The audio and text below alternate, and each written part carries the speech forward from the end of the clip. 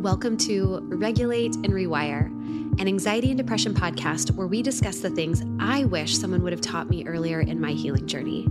I'm your host, Amanda Armstrong, and I'll be sharing my steps, my missteps, client experiences, and tangible research based tools to help you regulate your nervous system, rewire your mind, and reclaim your life. Thanks for being here. Now let's dive in. Hello, everyone. Today we are going to talk about the language of the nervous system and what that even means. So, there is this word that has become a really trendy in the healing space, and it's this word somatic. And so, I want to help you understand what it means when we talk about somatic healing or we talk about the, the language of the body being a somatic language. And for context, I want you to reflect for a minute. Have you ever been in a situation where you logically knew that you were safe. You logically knew that you were fine, but you didn't feel fine. Maybe you were at dinner with friends, or maybe you were just at the grocery store and suddenly you felt really anxious or really triggered. And again, you thought to yourself, like, I'm fine, I'm fine, everything is fine. Like, please, please, please, like, I don't want to have a panic attack. I don't want to feel anxious right now. So again, you're in the situation where like you logically understand that you're fine and yet you don't feel fine. And then you have this experience where you think to yourself, like, calm down, you're okay. And my question is, how did that go for you? Did telling yourself that you were okay or telling yourself to calm down actually make you feel any better? So I used to do this all the time when I would start to feel anxious, and it never made me feel better. No matter how many times I told myself I was okay or to calm down, I didn't feel okay and I didn't feel calm. And this is because anxiety is a nervous system response. So your nervous system read something in that environment as unsafe or as familiar to a time in your past when you didn't feel safe. And so being a nervous system response, it happens in your body and your body does not speak this logical verbal language. It speaks a somatic one. And somatics are this felt language. So whenever you hear this word somatic, it is emphasizing this like internal physical state. Somatics describe any any practice. So if somebody says like this is a somatic tool, we're talking about any practice that uses that mind body connection to help you survey your internal self, listen to those internal signals and shift them in some way. So when we say somatic, I want you to think felt based, senses based, body based. And so your body speaks this somatic language. This is the language of show me, don't tell me. So in these instances, what did I need to do to show my body that it was safe, to change the feeling in my body to be more of a safe feeling versus just trying to logically communicate to my body? And so again, this conversation for today is really to help you understand this language a little bit more, to understand your nervous system, what it prioritizes, why it prioritizes those things, and how it prioritizes those things to help you to understand what it means when we say we're trying to cultivate a felt sense of safety in the body. When we are talking about regulating the nervous system, we are talking about increasing your body's felt sense of safety. That is what allows you to be more regulated. And there are three things that our nervous system prioritizes, three things that our nervous system needs in order to feel safe. So those three things are context, connection, and choice. And so context just means I understand what is happening, why it's happening. I have some similar experience with what's happening. So this is something that feels understandable to me. Connection can be connection to a sense of self, connection to being able to be self resourced, self regulated.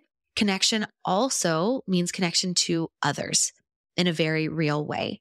And so what we've learned through research is that co-regulation. So co-regulation just means that you are able to, if you're feeling really activated and anxious and I'm pretty regulated, you come into my space, we have a conversation. Our nervous systems communicate in a language, again, that's not verbal.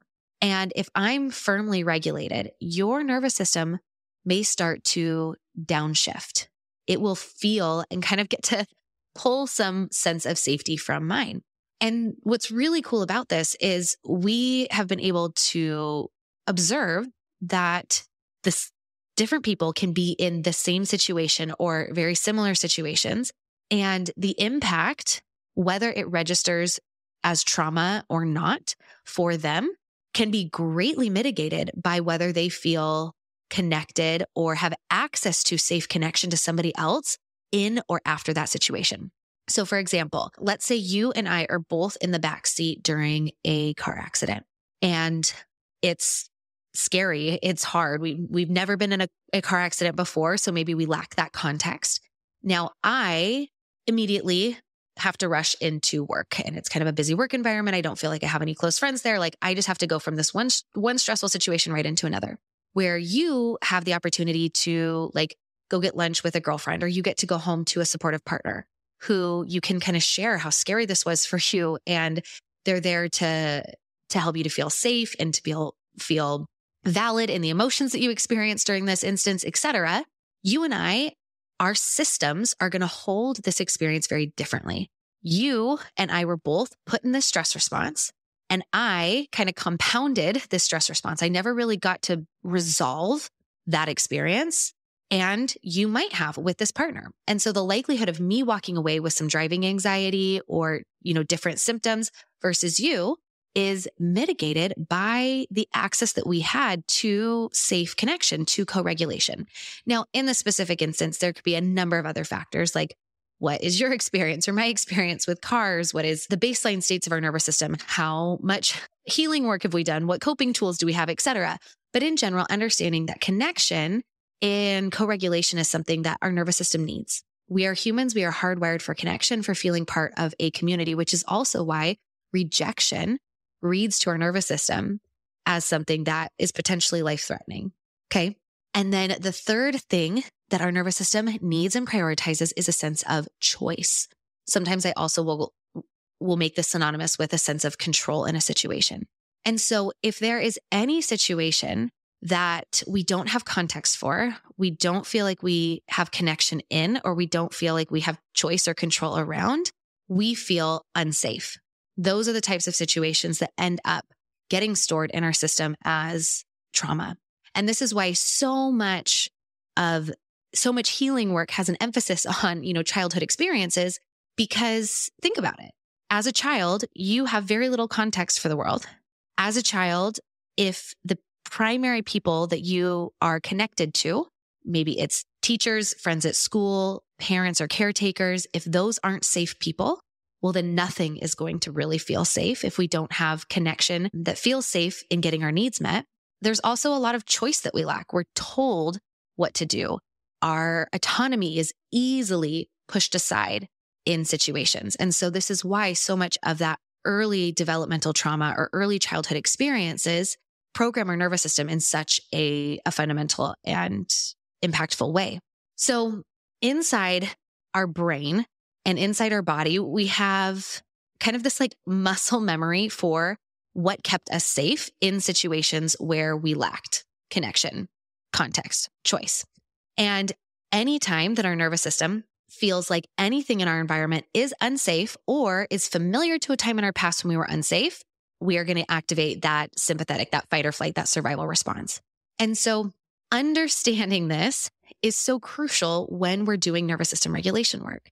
And it's also so fundamental to understanding why nervous system regulation is so foundational before we can get to the place where we can cognitively repattern things in our mind.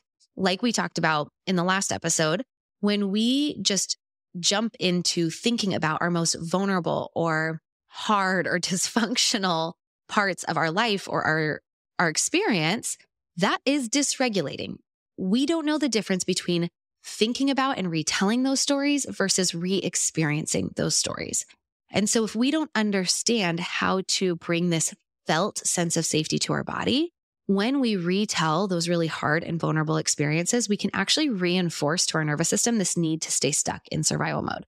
We reinforce this messaging that we are not safe now. And so, when we are again working through in and through this body based system, it can be really helpful to learn our body's language. So we introduced a concept last episode called neuroception. So this is just what your nervous system does. This is that lighthouse example that I shared, right? Neuroception describes how our neural circuits, right, our brain circuits distinguish whether a situation is safe, dangerous, or life threatening. So it's constantly scanning our environment. Then there is this other kind of sixth sense, if you will, called interoception. So interoception is what allows us to be in conversation with our body in this somatic language. So interoception is essentially the sense that allows us to answer the question of how do I feel in any given moment. So it is this collection of senses that help us to perceive the internal state of our body. And this can happen consciously or unconsciously. And so neuroception is just something our nervous system does. But interoception is something that's automatically happening, but it's also a skill and a sense that we can practice and we can cultivate. So for many of us who've been living in survival mode for a long time, we have lived trapped in our brain a lot, trying to predict worst case scenario, keep ourselves safe. We work with a lot of clients who feel really disconnected from their body. And so when you ask them like, well, how do you feel? They're like, well, I feel like, and then they, they launch into some narrative or a story or a thought. Feelings are one word calm, scared, frustrated, overwhelmed. And then we can also look at the physiological experience that goes along with those feelings. Well, how did you know that you were scared? How did you know that you were anxious? Well, I know that because, and this is that collection of senses perceiving our internal state because I felt butterflies in my stomach, or my heart was racing, or my chest got really tight, my palms got sweaty. And so, in being able to identify in any given time, like, well, what state is my nervous system in? And it's important to get to, to get to a place where in any given moment you can answer that question because different tools, different somatic practices are going to work better depending on what state you're in. So if you are in a sympathetic activated state, you are going to use one set of tools. Whereas if you're in that shut down state, feeling really depressed, you're going to use a different set of tools. Your body is going to need different signals to move you towards regulation. So interoception is our ability to feel inward and answer that question. How do I feel right now? And somatic tools are designed to help us influence the way that we feel.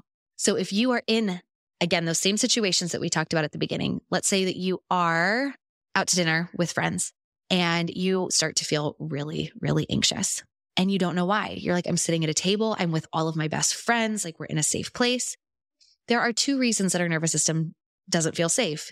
Either A, because you're not, and it perceives something in your environment that you don't, or B, which is the more likely and the more frequent situation, is because there's just something in that environment that feels familiar to that time when you weren't safe.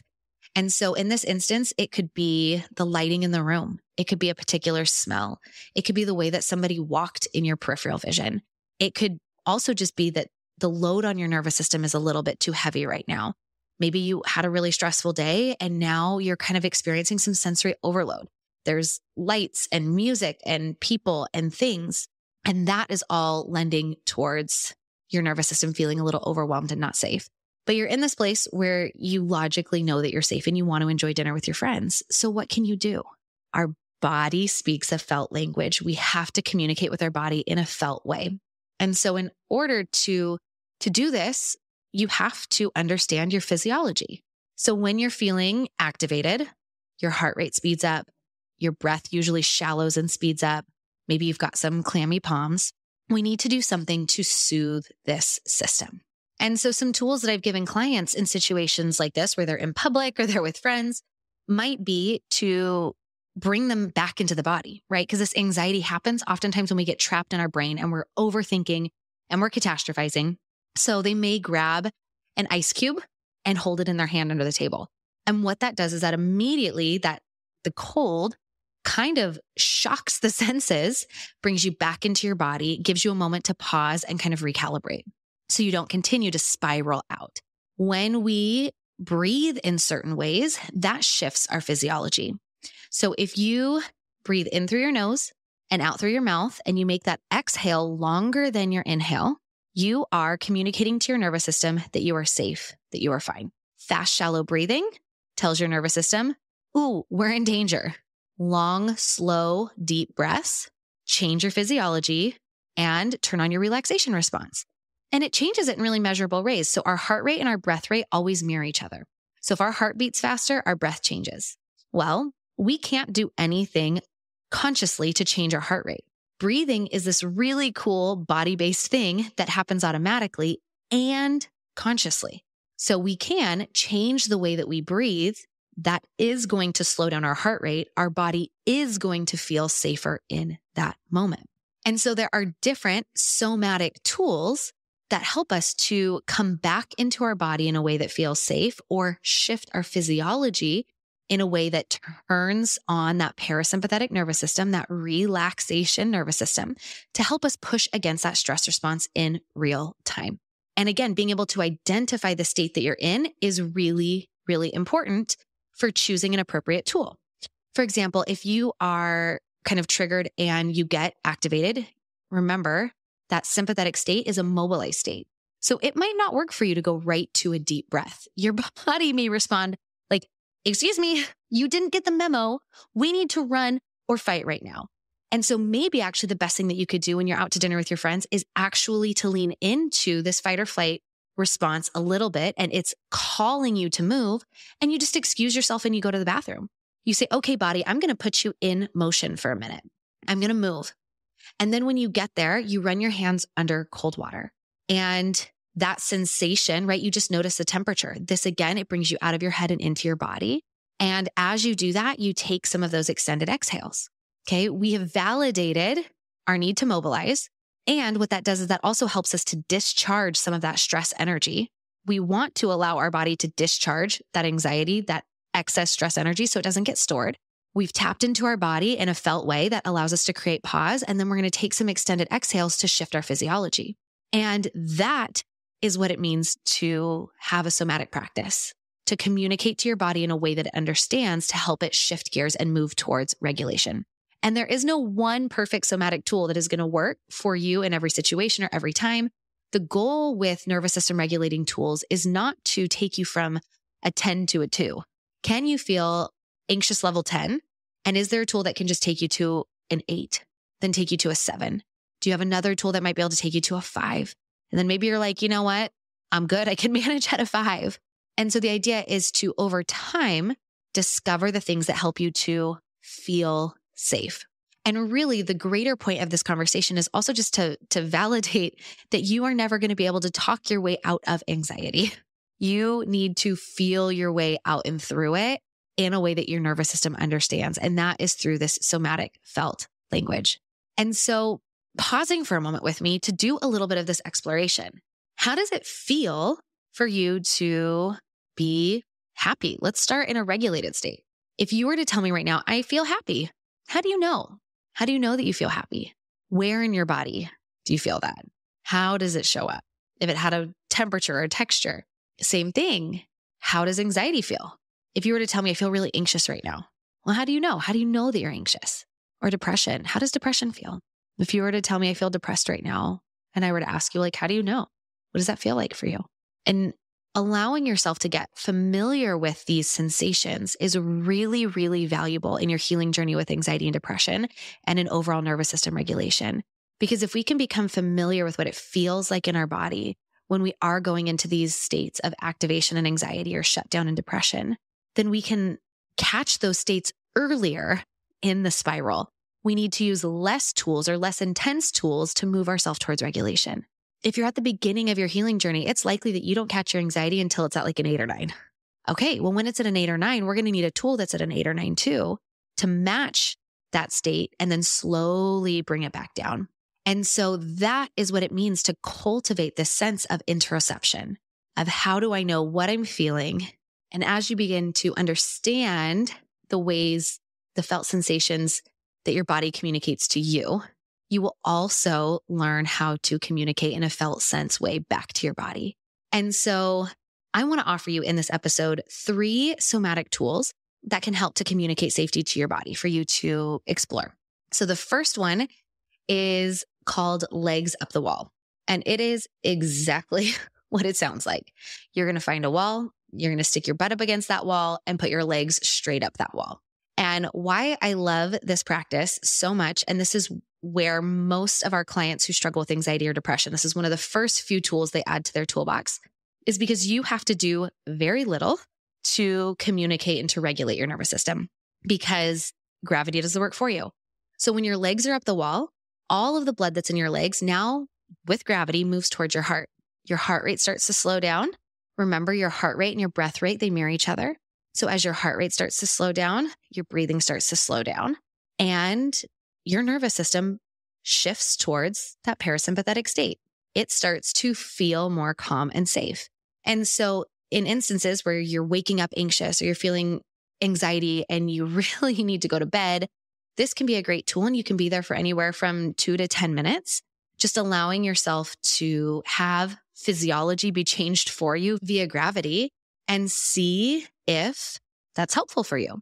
Each and every one of the tools that I'm going to offer you in this episode and in all of the future episodes are an invitation to experiment and then to discover the tools that feel the most supportive for you and the ones that don't feel supportive, let those go. There are hundreds and hundreds of different tools. So add legs up the wall to your list of anxiety tools to experiment with. The second tool I've already mentioned is this extended exhale breath. So if you want to try this with me right now, go ahead and let out all your air, breathing in through your nose, deep and slow, filling your belly with air, and then slowly exhale out your mouth, trying to make that exhale longer than your inhale. And do that for a few rounds. So I love this tool again because it is universal.